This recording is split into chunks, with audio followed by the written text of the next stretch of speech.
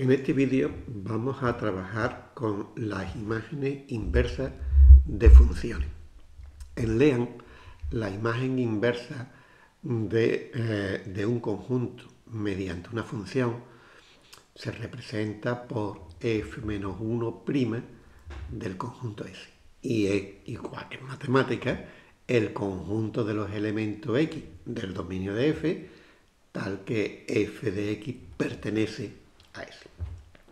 Bien, y para ilustrar su uso, vamos a probar una propiedad de las imágenes inversas. Es decir, vamos a demostrar que la imagen inversa de una intersección es igual a la intersección de las imágenes inversas.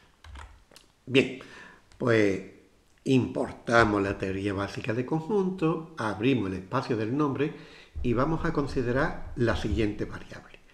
Alfa y beta son variables sobre tipo. Alfa es donde vamos a ir, que está el dominio de el dominio de f y beta el codominio. f una función de alfa en beta y u v dos conjuntos de elementos de beta. Respecto de la escritura, el beta, que lo tenemos aquí, pues se escribe simplemente barra B y el implica pues barra R o barra la flechita. Bien, antes de hacer la primera demostración, que como siempre la primera es muy detallada y después vamos quitando los detalles hasta quedarnos en una totalmente automática, vamos a eh, vamos a ver algunos de los lemas que vamos a utilizar en la demostración. Son lemas que nos caracterizan la imagen inversa o la intersección. Para comprobarlo voy a coger el primer lema. Bueno, la imagen inversa es lo mismo que la preimagen, es cuando, ¿qué significa que un elemento pertenezca a la preimagen? Pues si vemos aquí, me lo está escribiendo con variables. En fin, el interrogante M5, interrogante, para que eso no lo ponga, la representación sea un poco más amigable, pongo el dólar, bueno, y ahora ya no me pone los, no me pone los, las variables interrogante M, pero sí me está describiendo todos los tipos. Hombre, eh, yo sé que f va a ser una función de alfa en beta, bueno, pues le puedo ir dando detalles, decir, bueno, es alfa el dominio. Bien, pues ya alfa no me aparece. Eh, el codominio es beta. Vale, la función es f.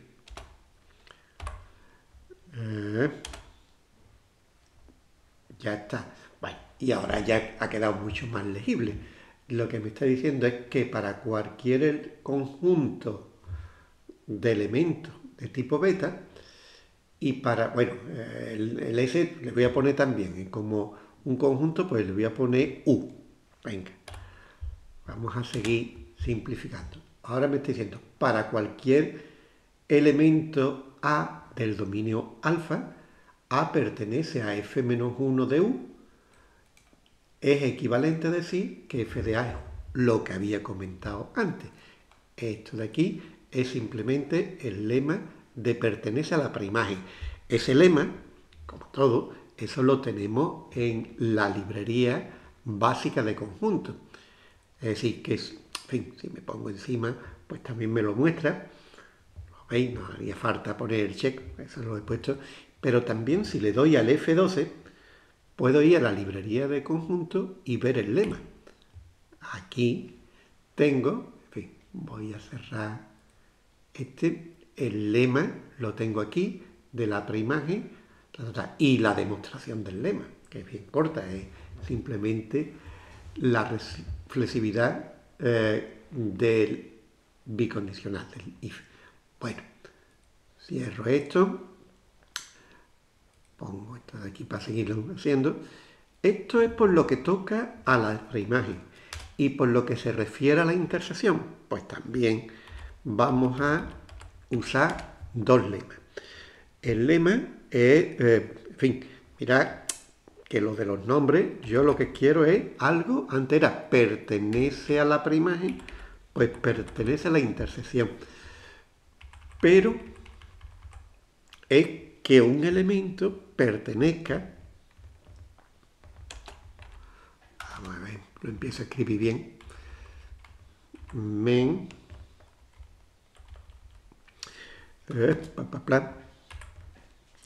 mm, men of men. Bueno, esto sería de pertenece a pertenece, bueno, pero los dos que me interesan son el izquierdo y el derecho. Mirad, este lema, ¿qué me está diciendo? Pues lo que me está diciendo, lo veo aquí, otra vez me lo ha puesto con, con los interrogantes, para verlo, le pongo aquí, ahora, bueno, los dominios, en fin, pero a fin de cuentas lo importante está aquí. ¿Qué significa? Que un elemento pertenece a la intersección implica que el elemento pertenece al primero. Si pertenece a la intersección, pertenece al primero. Y el otro, que es lo mismo, pero usando la derecha en lugar de la izquierda, Bueno, pues ¿qué es lo que me está diciendo? Que si pertenece a la intersección, entonces pertenece al segundo. Bien, pues con estos tres lemas vamos a abordar la demostración y vamos a empezar por el principio. ¿Qué es lo que tengo que demostrar? Una igualdad de conjunto. Bueno, pues si tengo que demostrar una igualdad de conjunto, como vimos en los vídeos anteriores, lo que voy a usar es extensionalidad con la variable x. ¿Y eso qué va a decir? Pues que tengo que demostrar que x pertenece a la parte izquierda si, solo si, cuidado, aquí, x pertenece a la parte izquierda, esto de aquí, si, solo si, x pertenece a la parte derecha. Como es un bicondicional, pues lo vamos a dividir la prueba en dos dividimos la prueba en dos. Bueno, ya tengo primera implicación y segunda implicación. Voy a escribir el entorno para hacer la primera prueba y el entorno en donde voy a escribir la segunda prueba. Y aquí terminaría la prueba. Esto ya no es necesario. Bien, la primera prueba es una implicación. Eh, bueno, si es una implicación, pues vamos a aplicar la regla de introducción de la implicación. Introduzco y a la parte izquierda le voy a llamar hipótesis H. Esto es la parte izquierda que le hemos puesto el nombre H y hay que demostrar la parte derecha. Bien, la parte derecha tengo que demostrar que X pertenece a una intersección. Bueno, pertenece a una intersección es demostrar que pertenece al primero y que pertenece al segundo. Entonces aplico la táctica de dividir. Split, no aplique. Y lo que dice es que tengo que demostrar, por un lado, que x pertenece a f-1 y por otro que x pertenece a la imagen inversa de V. Imagen inversa de U, imagen inversa de V. Bueno, como otra vez tengo dos objetivos, pues voy a escribir dos entornos. Primer entorno, segundo entorno, y esto ya no es necesario. Este de aquí ya no es necesario. Bueno, pues vamos al primero. Tengo que demostrar que X pertenece a la imagen inversa de U. Bien, aquí puedo aplicar el lema de qué significa que pertenece a la imagen inversa. Bueno, pues digo que aplique el lema. Aplica el lema de pertenece a la preimagen. Pero ese lema es un lema que tiene dos sentidos. ¿Cómo lo quiero demostrar? ¿De izquierda a derecha o de derecha a izquierda? Lo quiero demostrar de derecha a izquierda. Luego le pongo MP, que de modus ponen, R, que es en sentido contrario. Bueno, pues ya hemos reducido, mira, el objetivo que era. El objetivo era demostrar que X pertenece a la imagen inversa de U y mediante el lema demostrar que X pertenece a la imagen inversa de U se reduce a demostrar que f de x pertenece a U. Eso es lo que tengo que demostrar. Bueno, y ahora aquí tengo, en la hipótesis H, también tengo que pertenece a una imagen inversa. Bueno, pues le voy a decir que reescribe, reescribe, eh, usando el lema de pertenece a la preimagen, pero la hipótesis H.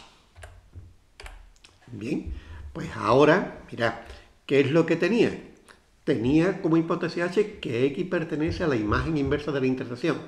Si aplico la reducción, lo que tengo es que f de x pertenece a la intersección. Y ahora si f de x pertenece a la intersección, lo que tengo que sacar es que f de x pertenece a la parte izquierda, pero eso es precisamente, eso es con exactamente, exactamente el lema de pertenece a la parte eh, izquierda, intersección parte izquierda, eh, aplicado a la hipótesis H. Bueno, pues ya tenemos el primero. Y como este van a ser más o menos lo siguiente. El segundo. En el segundo tengo que demostrar que X pertenece a la imagen inversa de V. Pues casi estoy tentado en copiar, eso de que es casi lo mismo, bueno, pues voy a copiar la demostración anterior, la voy a poner y voy a ver qué es lo que tengo que cambiar. Bueno, mirad, aquí tenía que hacer que x pertenece a f menos 1, hacemos lo mismo, es que f de x pertenece a v. Y ahora es que pertenece, pero no la izquierda, sino la derecha.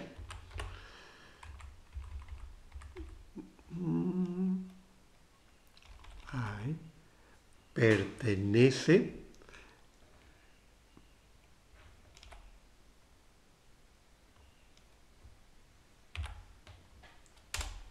ya está. La parte derecha. Bien pues ya tenemos demostrado. Aquí es la misma prueba y el único cambio ha sido cambiar izquierda por derecha. Igual. Ahora vamos a la implicación contraria. Tengo que X pertenece a la intersección de las imágenes inversas y quiero demostrar que X pertenece a la imagen inversa de la intersección. Como lo que quiero demostrar una implicación, pues voy a usar la táctica de introducción de la implicación y le doy el nombre H. Bien, ahora lo que tengo que demostrar es que X pertenece a una imagen inversa. Bueno, pues otra vez lo mismo, voy a aplicar eh,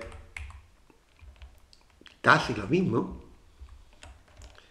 porque ahora la quiero usar no de derecha a izquierda, sino de izquierda a derecha. Por tanto, es solo MP. Eh, a ver, eh, cuidado, que aquí algo me salta. A ver. Eh,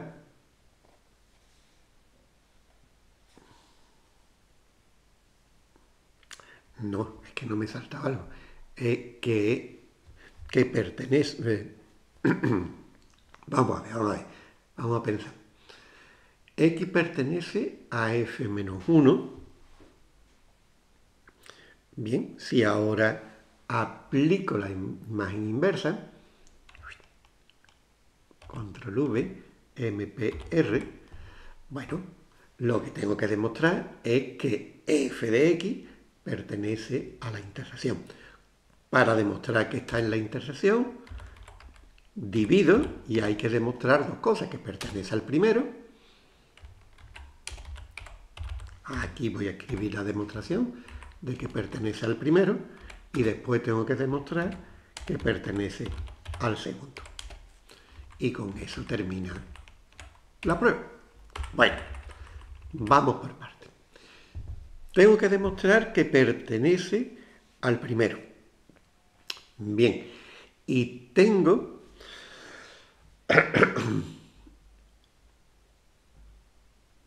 eh, vamos a ver, aquí tengo que x pertenece a f-1u y que eh, intersección.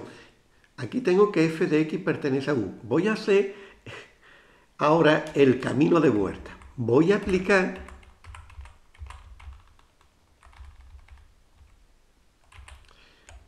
y ahora sí, que es en sentido contrario, v. Entonces, ¿qué es lo que tengo? Que x pertenece a f-1 de u. Pero eso es exactamente la parte izquierda.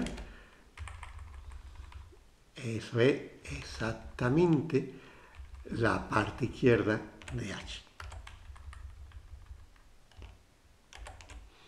Bueno, ya lo he demostrado. Ya tengo el primero y me queda el segundo. Y el segundo, pues voy a hacer lo mismo que antes. Voy a copiar la demostración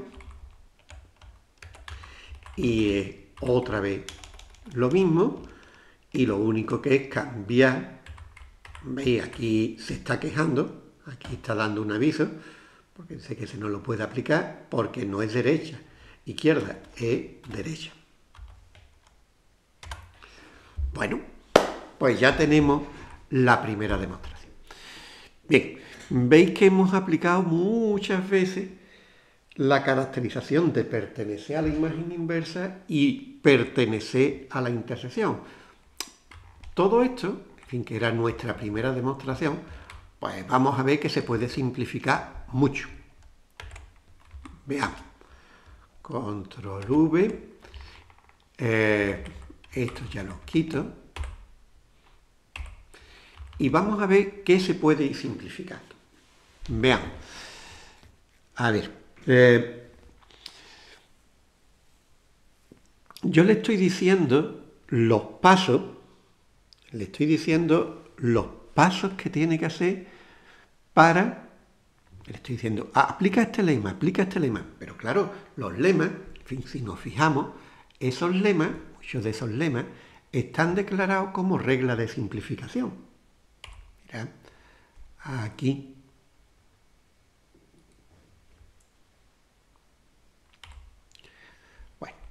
Muchos están declarados como regla de simplificación. ¿Eso qué quiere decir? Hombre, que el sistema de simplificación de Lean en su base de conocimiento, eso lo va a aplicar automáticamente. Son reglas de reescritura que va a aplicar.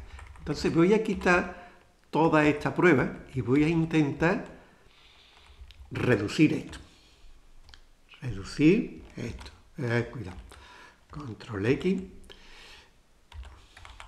la dejo pendiente y vamos a ver esta prueba. Mirad, ¿qué es lo que tengo? Tengo que demostrar que pertenece a la imagen inversa. Y, tengo que y sé que pertenece a la imagen inversa de la intersección. Si yo le digo que aplique la regla de simplificación en la conclusión, Mira, sin darle nombre, ya ha escrito f de x pertenece a u. La ha aplicado, no se lo tenía que decir. Está en el conjunto de reglas que va a aplicar. Pero no se la ha aplicado a h. Hombre, le puede decir simplifica en h. Bueno, está bien, se la ha aplicado a h y es que f de x pertenece a u y f de x pertenece a v. Acaba de simplificar h h que era x pertenece a, e, a la imagen inversa de la intersección. Pero en un caso ha simplificado la hipótesis, en otro la conclusión. Si quiero que simplifique en todos los sitios, le pongo una, una estrella. Y entonces ya vemos que ha simplificado abajo y ha simplificado la hipótesis H. y ahora esta es una fórmula de. Y esta es una fórmula conjuntiva. Entonces, por la eliminación de la conjunción, ya tengo la demostración. Simplemente h.left. Bueno, veis que esta ya la ha simplificado. Puedo hacer lo mismo, lo que me ha servido aquí en la primera, me servirá en la segunda. Lo corpio, lo pego y lo único que pasa es que la derecha, la izquierda hay que cambiarlo por la derecha. Ya está. Bueno, esa la he podido simplificar. Eh, ¿Podré simplificar también esta de aquí?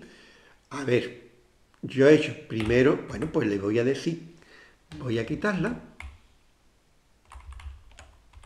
La dejo con incompleta y voy a hacer lo mismo. Puedo simplificar arriba y abajo. Venga, el voy a hacer lo mismo es, vamos a simplificar. Simplificar es, aplicar las reglas de simplificación que tiene. Bueno, pues ya está.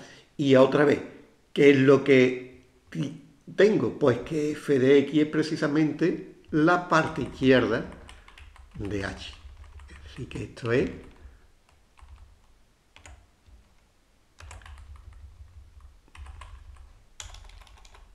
control V, la parte izquierda. Bueno, mira que esta y esta demostración es la misma.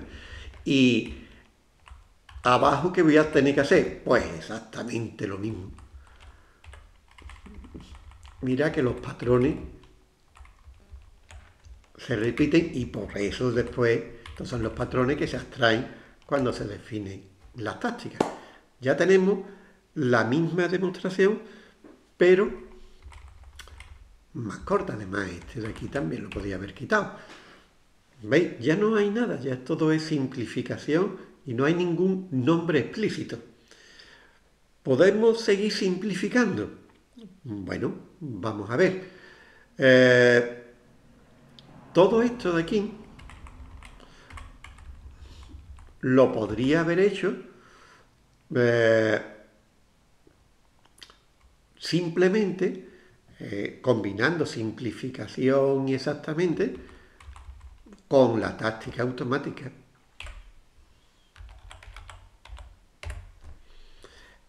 Esto de aquí también con la táctica automática.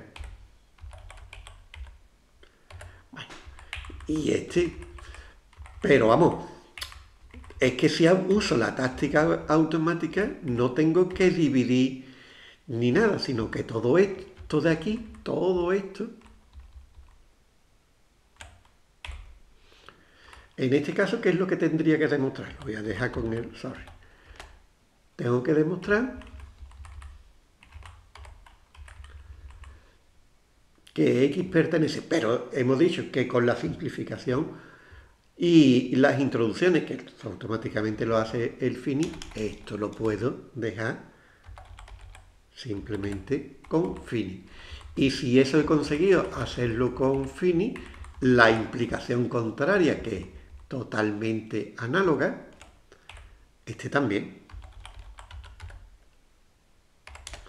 Bueno, la demostración está quedando más muy corta. Bueno, no le cambié el número. La segunda demostración.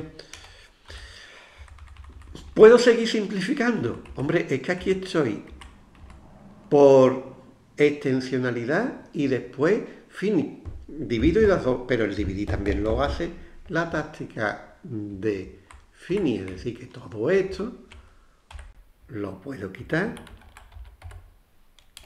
y quedaría así de corta. Y bueno, ¿hace falta la extensionalidad? No, eso también está incluida dentro de la táctica fini. Bueno, entonces si ya tengo el begin y el end, pues puedo quitar lo de begin y poner que esto es simplemente automático. Bueno, esta demostración evidentemente es mucho más corta, pero en fin, no demostramos nada. Lo único que le decimos al sistema es demuéstralo y ya está. No estamos mirando qué es lo que está aplicando, qué es lo que teníamos en la primera demostración. Además, si, voy a comentar esto, si yo le hubiese pedido indicación al sistema, digo, dame alguna idea de cómo demostrarlo. Y entonces me dice, puedes intentarlo por tauto, fini. Bueno, pues le digo, inténtalo por fini, que ya sabemos, inténtalo por auto, sale. También le puedo decir, inténtalo por la propiedad reflexiva, sale. Así que, mira que ha quedado muy corta. Y no solo que ha quedado con la propiedad reflexiva, sino simplemente si utiliza la táctica de reflexiva ya está, pues la táctica de reflexiva, ¿qué es lo que significa? Pues la táctica, eh, la reflexiva lo que significa es que los dos son iguales, pero el problema, no el problema, sino lo interesante es qué significa ese signo de igualdad. El signo de igualdad es simplifica la parte izquierda, simplifica la parte derecha y comprueba que los resultados de las simplificaciones son iguales. Y eso es lo que pasa. Así lo tenemos. Bueno, pues ya veis que la demostración era simplemente por reescritura y ya está. Otra cuestión es, otra vía, es en lugar de pedirle una indicación, que preguntarle que busque este lema en la librería, en la librería de sus lemas. Le digo, búscalo en la librería.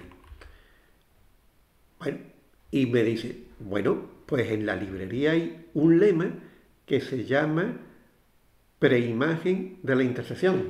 Bueno, con el nombre está claro, digo, venga, vale, inténtalo, intenta esto. Bueno, pues lo intenta y efectivamente sale la demostración. Mm, ¿cuál es más corta? Bueno, la de refle. Pero es más, si ahora vamos, le doy al F12 y digo, voy a ver en la, en la teoría cómo tiene demostrado este lema.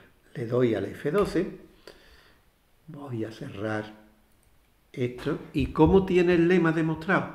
Hombre, aquí tiene el lema, la imagen inversa de la intersección igual a la imagen inversa. Demostración por la táctica reflexiva.